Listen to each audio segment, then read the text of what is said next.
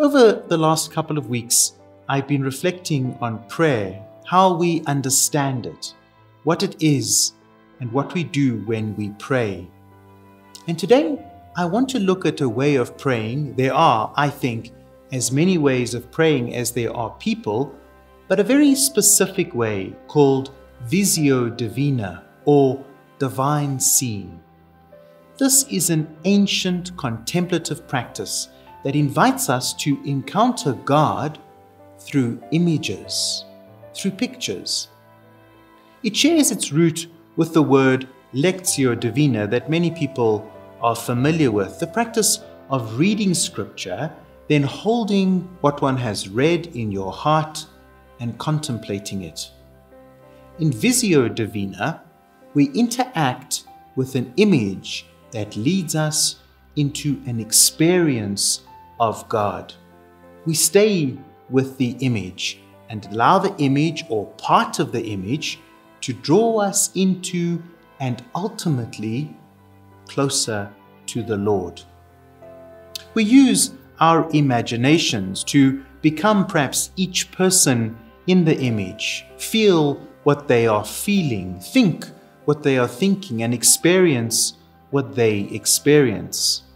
The image or the picture becomes our stepping stone into dialogue with God. The great spiritual writer of last century, Henri Nouwen, said that Visio Divina was more about gazing than looking. Instead of a kind of scrutiny or judgment or evaluation, it's simply a gentle gaze at the image. Saint Benedict, the father of Western monasticism, invites us to listen with the ear of the heart. The Byzantine fathers focus on gazing or seeing with the eyes of the heart. And so we want to look at a picture or an image with the eyes of the heart so that it can communicate to our hearts. The physical dimension of the spiritual life has diminished, perhaps, and eroded. It may even have its roots in the Reformation, where people were suspicious of images. And prayer has become for us mainly an activity in our heads. We have become like birds, as one author says, trying to fly with one wing. And praying with pictures or images can help us grow back that missing wing, the physical aspect of our prayer. The practice of praying with images is an ancient tradition. The images, called icons, were not painted to be pictures, but rather were the actual fruit of prayer itself. Christian iconography expresses in images the same gospel message that Scripture communicates by words. Images and words illuminate one another. And these images are traditionally less realistic and more symbolic in nature. They are often called windows into heaven and are designed with one goal in mind to link us to the Lord.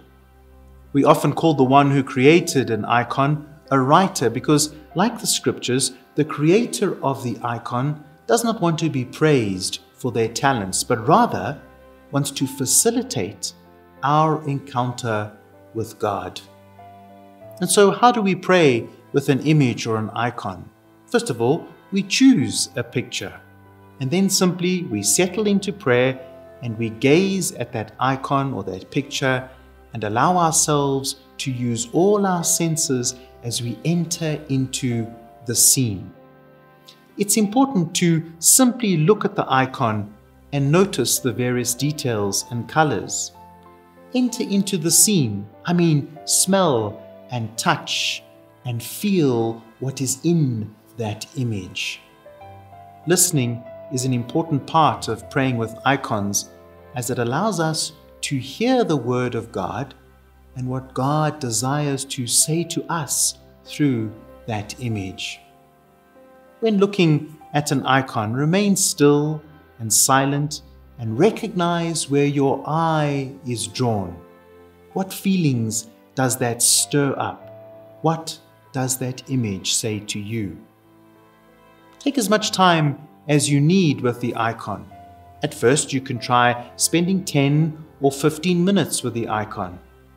You see, this type of prayer requires a contemplative heart, one that slows down, taking a break from the fast paced society and world that we live in. And sometimes the pace is in our own heads. It's another way of communicating with God where little is needed from us, only our ability to silently gaze on that image or that icon.